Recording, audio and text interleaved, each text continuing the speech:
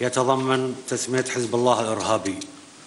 هاي الفقرات الفقرتين الآن اللي قريتهم لك يتضمن وفي إجماع على هذا القرار على هذا القرار مع تحفظ ل لبنان والعراق والجزائر. والجزائر من الجزائر. والجزائر على بعض الأشياء. في موقف عربي مفاجئ أصدر مجلس وزراء الخارجية العرب قرارا اعتبر فيه حزب الله منظمة إرهابية.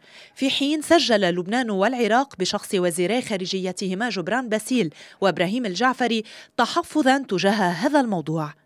باسيل وفي كلمة ألقاها دافع عن المقاومة وأكد أن لحزب الله تمثيلا واسعا وهو مكون أساسي في لبنان وأعلن أن موقف لبنان بالتحفظ عن ذكر حزب الله ووصفه بالإرهابي جاء بسبب عدم توافق القرار مع المعاهدة العربية لمكافحة الإرهاب. على ذكر حزب الله ووصفه بالإرهابي لأن هذا الأمر غير متوافق مع المعاهدة العربية. غير مصنف.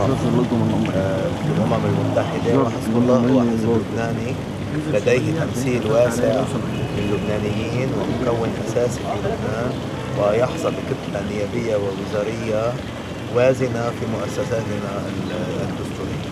نحن وافقنا على بقية آه، بنود القرار. إنما من الطبيعي أن نستطيع الموافقة على ذكر حزب الله ووصفه بالإرهاب. نحن في نفس القرار.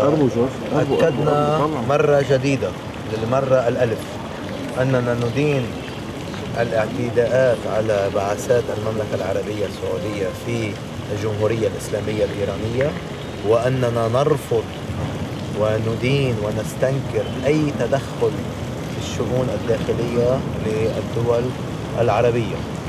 هذا موقف الجمهورية اللبنانية والحكومة اللبنانية وكل ما هو مناقض له نرفضه.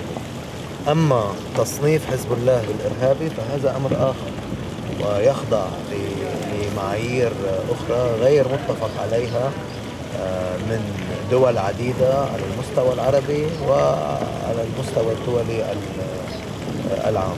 وكان مجلس جامعة الدول العربية قد استأنف اجتماعات دورته العادية الخامسة والأربعين بعد المئة على مستوى وزراء الخارجية برئاسة مملكة البحرين لمناقشة الموضوعات المدرجة في جدول الأعمال وفي صدارتها القضية الفلسطينية والأزمة في سوريا والأوضاع في ليبيا واليمن وقضايا مكافحة الإرهاب وصيانة الأمن القومي والتعاون السياسي والاقتصادي بين الدول العربية. العربية.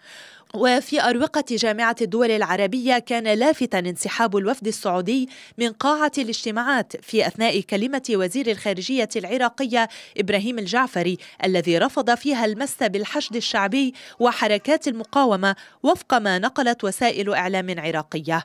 وفي سياق كلمة ألقاها في خلال اجتماعات جامعة الدول العربية في القاهرة قال وزير الخارجية العراقي الحشد الشعبي وحزب الله حفظا كرامة العرب ومن يتهمهما بالإرهاب هم الإرهابيون. ونقلت قناة السومرية العراقية عن مصدر مسؤول في وزارة الخارجية العراقية أن الوفد السعودي انسحب من قاعة اجتماعات جامعة الدول العربية بعد كلمة وزير الخارجية العراقي الذي رفض فيها المس بالحشد الشعبي وسائر حركات المقاومة.